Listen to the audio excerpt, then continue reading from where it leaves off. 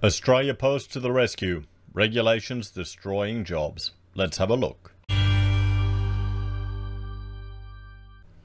Hello everyone, Florian Heise here and welcome to another episode of Heise Says.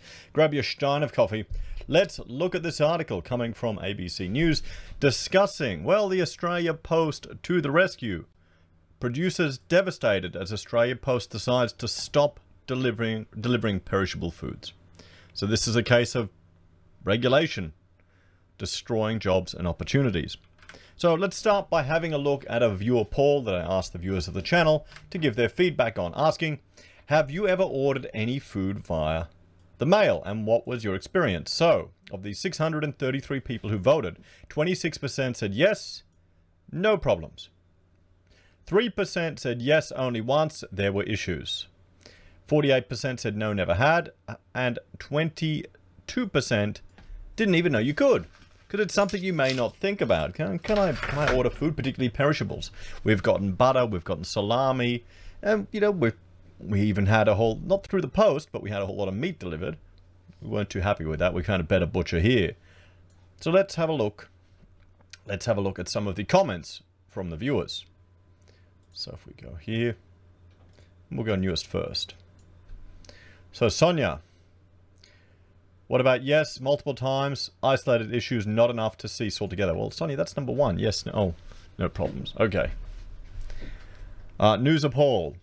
The evil that is happening at Australia Post is unbelievable. Another step towards privatisation and destruction of the social contract banning banning food items in the mail. No logical reason why this is happening. It will destroy a small business. Exactly what the oligarchs Gates... Okay, I think you're going a bit off on a tangent there, Paul, mate. This is regulation going a bit haywire at the state level. That's my understanding. That there's so many complications. Uh, I mean, you can you can see you know, this is part of a grander scheme. I mean, the question of whether Australia Post should be privatised or not, well, that's another question entirely. Some people seem to love their Australia Post. They're all getting behind this CEO. I mean, uh, you know, the, CEO who's feigning that she's been bullied, a, a multi-millionaire. Uh, you can't get to that level without being a bit resilient, without being a bit tough. Women, women aren't that weak at that level. Or at least that's just the, because perhaps it's my own bias because all the women in business I've dealt with are in the construction sector, so they're they're not little they're not little princesses. maybe being you know going up that sea level, yeah, maybe that's it. You just kept on getting pushed up and up and up to meet quota fillers. Is that what she's saying? Is that why she can't handle a bit of criticism or, or some um, politics? So I, I don't feel too sorry about any of it. What about you? You know.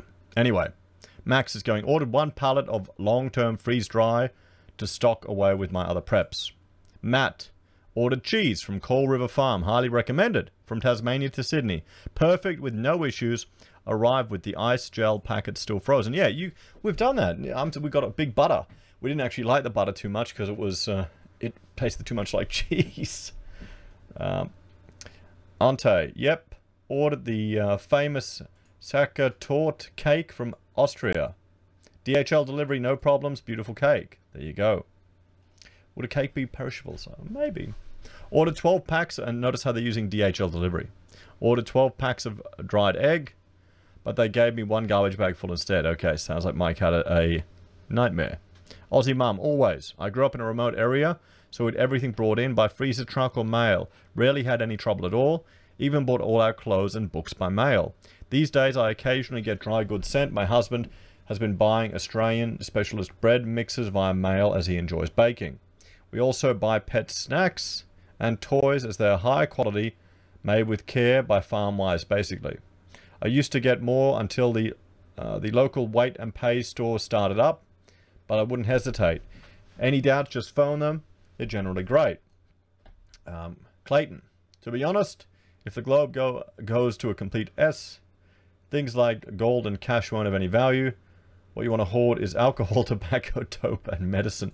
Okay, I mean, he's, he's going the quite the prepper tangent, but we're talking about getting food in the mail, mate. I, I guess you know, there are a whole lot of, you know, I guess it's a prepper thing if you want to get your food in the mail. I remember, what is it, Tim Pool was plugging a, a supply that had a month's worth of food, but all the, like, the long-term non-perishable food is all garbage. It's all, you know, sugar, and carbohydrates with vegetable oil. I guess it'll keep you alive, not much else. I order in bulk a lot, cinnamon, uh, cacao powder, coconut oil. Never had an issue. They'd be all dry products too, but still. A Sventke. I ordered a lot of freeze-dried uh, survivor food. I'm one of those paranoid types. okay, so I think, I think we got a few on the channel that like it. You know, intelligent people prepare for the worst and hope for the best. So don't think so low of yourself. It's nothing wrong with having, I mean, you really should have some reserves one way or another.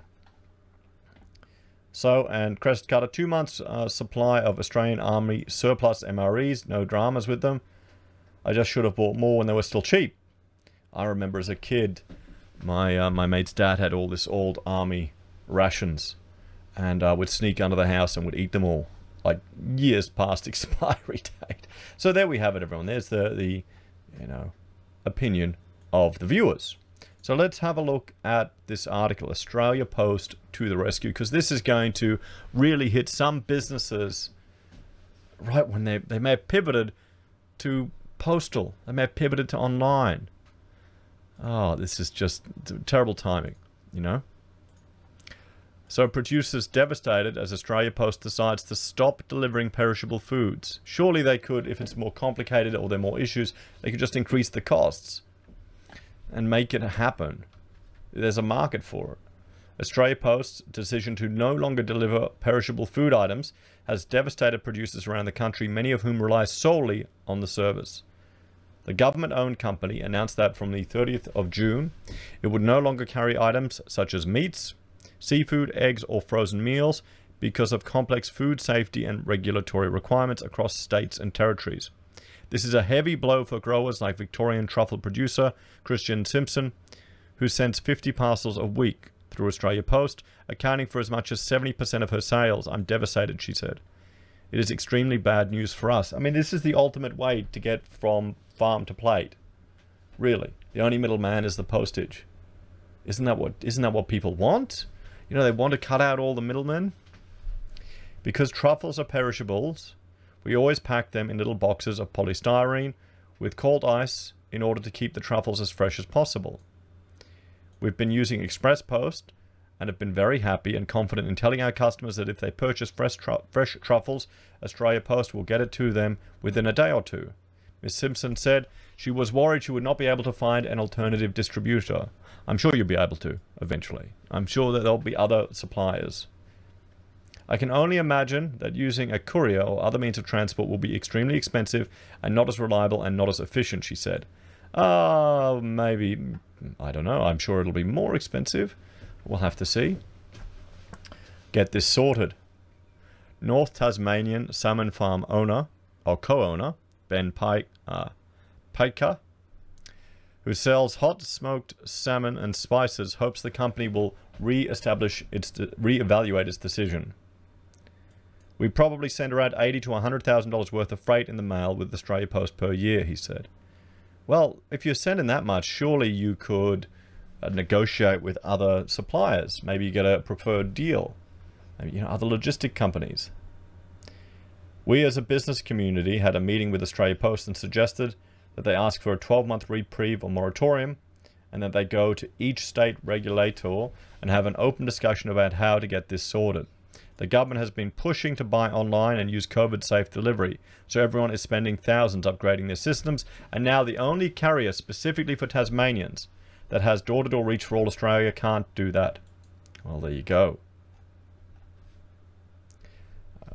Karen Spencer, the general manager of the New South Wales-based um, Cheese Co., said the company had shifted its focus online ahead of the pandemic.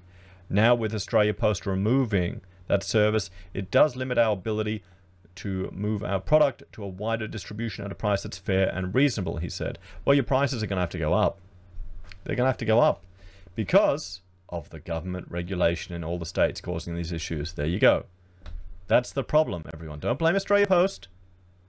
Don't blame them. Blame the state governments that are um, imposing these regulations. It's like the same thing. We've got different size railway, railway lines in different states.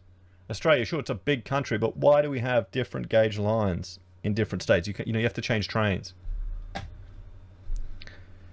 So, we're trialing a couple of other companies now, but because these are perishable items, there's no guarantee. It's at your own risk. Well, that's that's business. Australia Post in talks. In a statement, Australia Post said it understood the impact of this decision on producers. It said it was working with customers and industry regulators to determine a path forward. This will include meeting with food safety regulators and health authorities to discuss the regulations imposed on Australia Post. It said the carriage of perishable food requires, requirements differ by state and include complex requirements on vehicle type, site, and vehicle registration, license maintenance, staff training, and audit requirements. That's the issue. That's the issue. It's going to destroy entire businesses. It's going to destroy the viability of businesses. This is, it's you know, it's bad for the environment too because you've got increased increased uh, middlemen there. You know, if you want to go down that path. So, what is the solution to this, everyone? What is the solution? Well, simply, if you're in the business, you've got to ensure you've got a diversity of suppliers. You can't be completely dependent on something that's so so tied up to the state. Surely, if Australia Post is delivering the service, they should just increase their cost to absorb, absorb these additional onerous requirements that are imposed upon them by the state level. Maybe the farmers should be lobbying the government directly, not trying to get Australia Post to lobby. You know, is there a market opportunity? And will this result in an increased cost of food? And what's the potential risk factor here of people eating food that may have gone off or spoiled? They could get food poisoning. You could die.